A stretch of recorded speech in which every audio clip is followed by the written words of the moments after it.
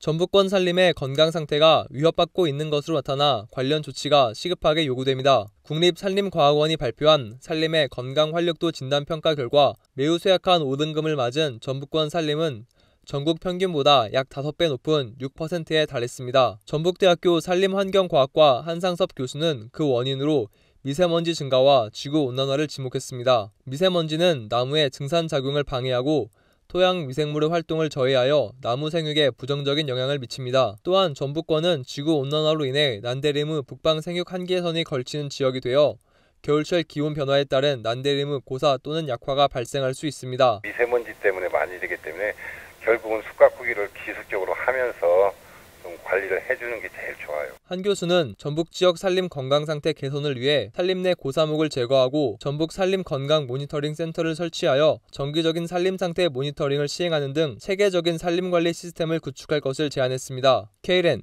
한결입니다.